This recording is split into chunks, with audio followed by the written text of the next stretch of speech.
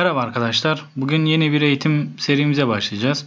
Python programlama dili hakkında e, bazı uygulamalar yapacağız. Bunlarla ilgili e, grafik arayüzler geliştirip işte coğrafi bilgi sistemlerinde nasıl kullanıldığına dair nasıl skriptler yazılır, ArcGIS üzerinde bunlar üzerine bir takım çalışmalar yapacağız.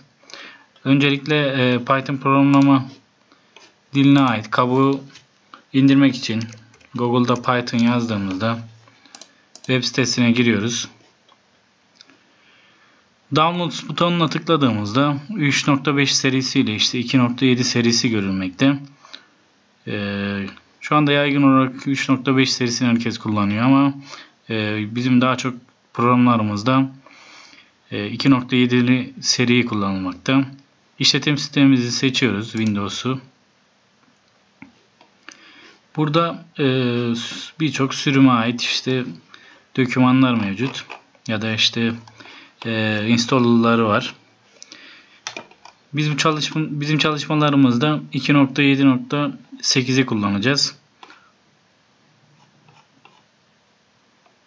Gördüğünüz üzere buradan e, indirdikten sonra karşımıza bu şekilde exe dosyası gelecek. Bunu yükle dediğimizde çalıştır diyoruz.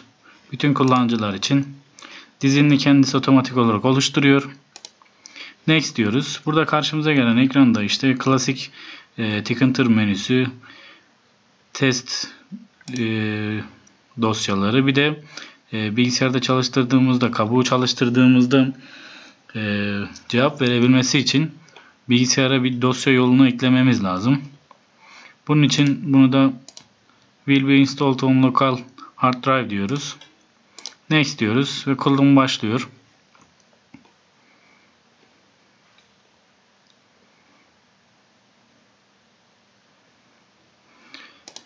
Kurulumu bitirdikten sonra çalıştırıyoruz.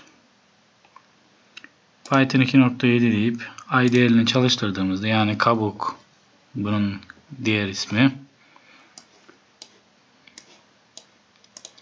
Gördüğünüz üzere e, kabuğumuz bu. Bunun içine ben bir modülünü import etmek istiyorum. Beraber e, otomatik olarak gelen Tkinter modülünü yüklediğimde şu anda herhangi bir sorun vermedi. Import time modülünü de yükleyelim. Bir de import random dersek Gördüğünüz üzere bütün modüller yüklendi. Şimdi basit bir e, toplama işlemi yapalım. Örneğin